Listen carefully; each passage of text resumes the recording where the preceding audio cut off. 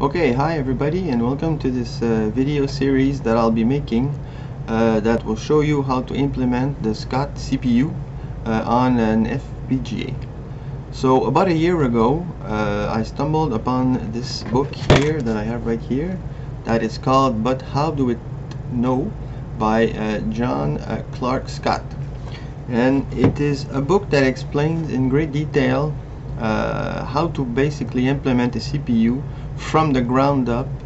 uh, using only NAND gates. It explains very uh, step by step if you want all the gates that you need to construct, all the different circuits that you need to be that build uh, the ALU, the control unit, the memory, and how to put everything together to make a small but functional uh, computer. So I was very interested by this book and uh, I went about um, trying to do uh, some software implementations of this uh, CPU uh, basically for the fun of it. So I started out um, doing a Perl implementation. Perl is a language that's not so much used these days but uh, back in the day uh, I was pretty good at it so I started with that so I made a functional implementation of the CPU in Perl, but it was uh, excruciatingly slow.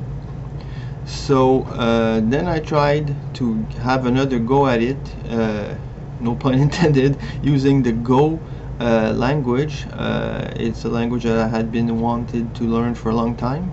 and since um, uh, this came up so I decided to take the opportunity to learn Go through doing this implementation. So this one was much faster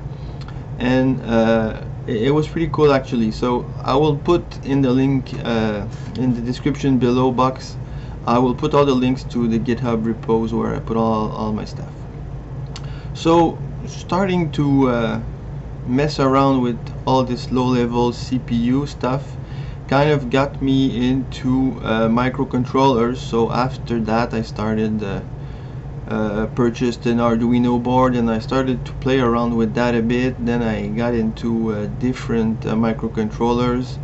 uh, ESP8266 that kind of stuff. And ultimately that led me to discover FPGAs so FPGAs which are essentially programmable hardware so an FPGA is basically a bunch of electronic circuits that you that are all connected through some fabric and you can basically uh, program it to do whatever you want to do but it doesn't have a CPU it doesn't have instructions it's really really a low level gate uh, registers memory that kind that kind of stuff so uh, through this this series I will be taking the various circuits and bit and bytes that are described uh, by John in his book and I will be uh, implementing them on an FPGA on the development board uh, of an FPGA this is the model that I am going to use. I don't know if you can see it. It's a Digilent Basys 3 board.